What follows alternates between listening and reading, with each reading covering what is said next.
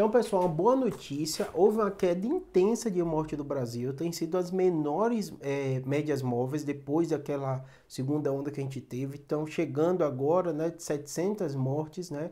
No domingo, esse dado, mas assim, a queda da média móvel tem acontecido, tem sido muito clara muito provavelmente pela vacinação. O que a gente está vendo é que o isolamento caiu bastante, as restrições caíram bastante, mas tem acontecido também a queda de mortes, internações, vagas de UTI, tudo isso, né? O principal cenário que tem mais se aventado é realmente a vacinação. A gente tem aqui no Brasil, né, de duas doses, chegando aos 13%, então ainda um número pequeno de pessoas com as duas doses tomadas, mas você tem um número grande de pessoas, 36% que tomaram pelo menos uma dose.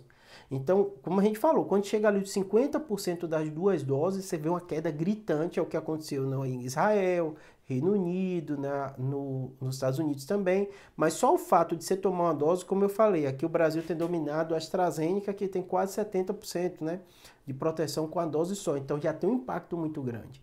Então, muito provavelmente nas próximas semanas a gente vai ver essa queda aumentando mais ainda. Apesar que não é o ideal, né? Só tem que continuar usando máscara. A gente tem visto muita gente relaxar já o uso da máscara, mas não é para fazer isso ainda agora.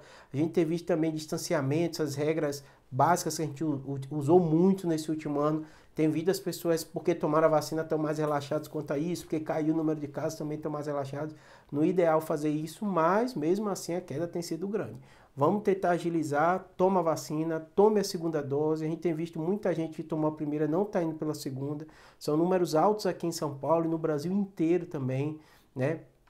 Tem locais chegando a 200 mil pessoas, Rio Grande do Sul, aqui em São Paulo quase 100 mil pessoas não tomaram a segunda dose, então temos que correr atrás para tomar a segunda dose tomou a segunda dose, sua produção é maior ainda, menos gente você vai estar contaminando, caso você pegue. Uma dose só não é proteção total, duas doses não é proteção total, mas uma a produção é muito menor e tem a questão da longevidade, o tempo que você vai ficar imunizado também, tá bom? Então vamos lá, pessoal, mas é uma boa notícia, uma queda significativa das mortes no Brasil, uma das menores que, é, médias móveis desde o início da segunda onda lá de fevereiro, tá bom?